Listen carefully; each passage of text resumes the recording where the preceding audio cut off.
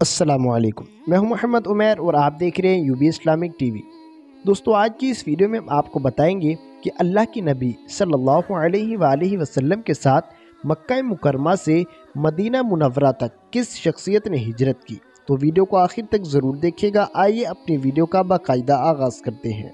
जब कुफ़ार मक्का हजूर अनवर सल्लल्लाहु अलैहि वसल्लम के कत्ल पर एतफ़ाक़ करके कॉन्फ्रेंस ख़त्म कर चुके और अपने अपने घरों को रवाना हो गए तो हज़रत जबरील अमीन आसमाम रब्लमीन का हुक्म लेकर नाजिल हो गए कि, ए महबूब, आज रात को आप अपने बिस्तर पर न सोएँ और हिजरत करके मदीना शरीफ चले जाएँ।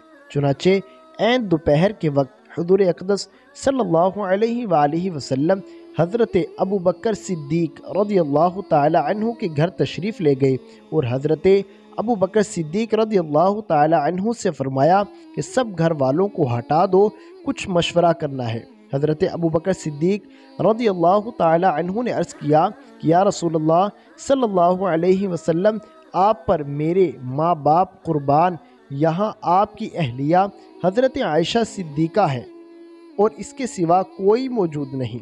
हजूर अनवर सल्लल्लाहु अलैहि वसल्लम ने फरमाया कि, ए अबू बकर अल्लाह ने मुझे हिजरत की इजाज़त फरमा दी है। हज़रत अबू बकर ने अर्ज़ किया, या रसूलुल्लाह सल्लल्लाहु अलैहि वसल्लम, आप पर मेरे माँ बाप कुर्बान। मुझे भी हम राही का शर्फ अता फरमाइए। रसूलुल्लाह सल्लल्लाहु अलैहि वसल्लम ने इनकी ये दरख्वास्त मंजूर फरमा ली। हज़रत अबू बकर सिद्दीक रदी ने चार महीने से दो ऊँटनियाँ खिला पिला कर पाल रखी थी। हिजरत के वक्त ये सवारी के काम आएँगी। अर्ज़ किया, या रसूलुल्लाह, सल्लल्लाहु अलैहि वसल्लम, इनमें से एक ऊँटनी आप कबूल फरमा लें। आप सल्लल्लाहु अलैहि वसल्लम ने इरशाद फरमाया कि कबूल है, मगर मैं इसकी कीमत दूँगा। हज़रत अबू बकर सिद्दीक रदी अल्लाह तु ने, प्यारे आका, सल्लल्लाहु अलैहि वसल्लम का ये हुक्म कबूल फरमाया। हज़रत आयशा सिद्दीक़ा रज़ी अल्लाह तु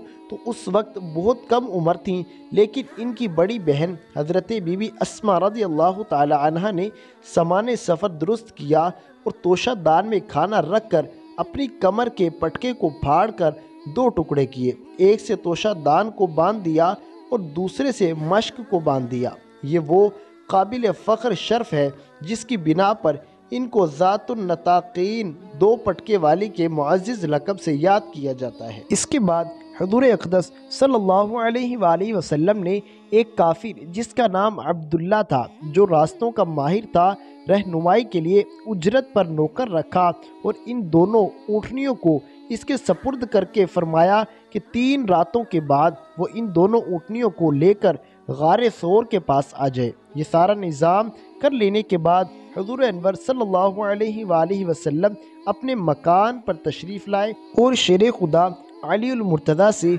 चंद बातें की और सफ़र पर रवाना हो गए। वल्लाहु आलम व रसूल आलम। आइंदा वीडियो के अंदर हम आपको बताएँगे कि नबी अकरम सल्लल्लाहु अलैहि वसल्लम जब सफ़र पर रवाना हुए तो आपने घर पर किसको ठहराया? और क्या बातें इरशाद फरमाई तो अगली वीडियो का इंतज़ार कीजिए। अल्लाह हाफिज़।